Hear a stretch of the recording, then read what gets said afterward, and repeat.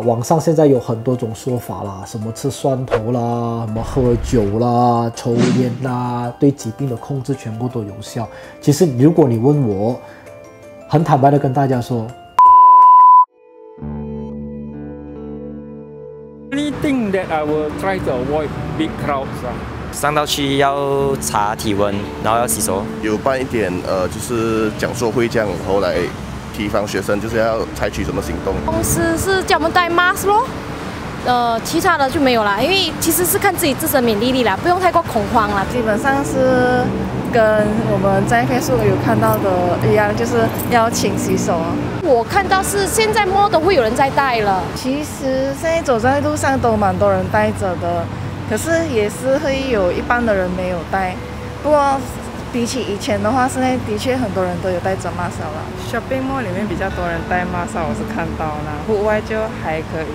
Yeah, the government is doing on you see on in the on TV they all time advertising to wash your hands everything wear the mask wherever possible avoid big crowd they are doing their work. Uh. Yes, yes, yes. I am.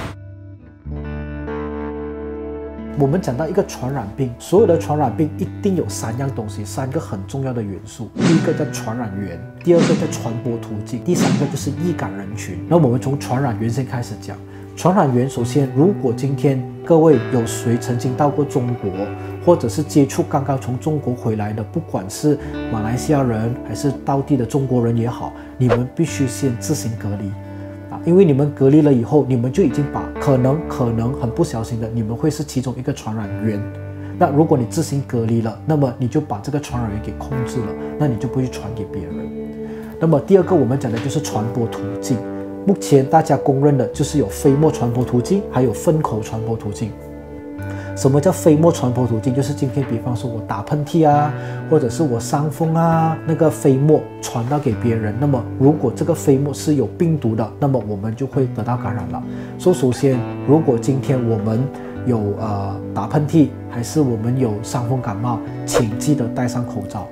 再不然的话，就是如果比方说今天在人群中你不小心要打喷嚏，请用手盖着，或者是用 T 恤盖着，盖了之后把 T 恤丢进封闭的垃圾桶，把这个传播途径，就是这个飞沫传播途径给减减少了。卫生组织也发现到粪口传播途径，就是可能我们啊上完厕所没有洗手啊，这些东西其实你们都要去洗手。洗手不一定要用我们现在市面上断货的洗手液，其实普通的肥皂就已经足够了。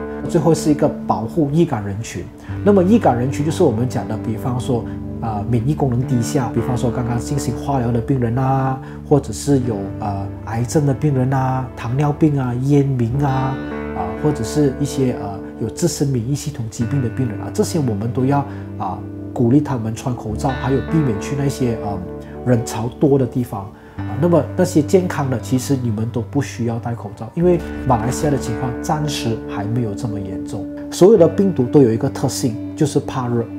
那当然，现在这段时间可能还有凉风啊，还有冷啊，甚至现在世界卫生组织说不要长期待在那一个啊冷气房，尽量保持通风。所有的病毒的特性就是喜欢冷，不喜欢热。所以夏天一来，只要天气一热，这个这个病毒的活跃就没有，就不会像现在这么活跃。病毒不像现在这么活跃，自然而然它的传染力就低下了，整个病就不再那么的恐怖。网上现在有很多种说法啦，什么吃蒜头啦，什么喝酒啦，抽烟啦，对疾病的控制全部都有效。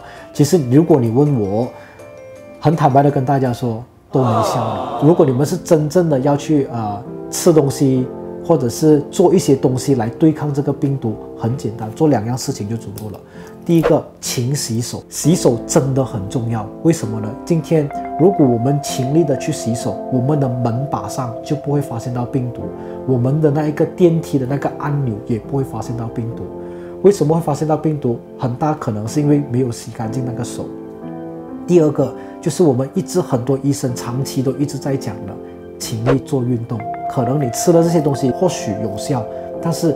它并不能够完完全全防止这个病毒的在扩散。如果我们说一个疾病的恐怖在于你没有药医，今天我们有药去控制，就是我们的抗病毒、抗病毒药物。换句话说，就已经有药医了。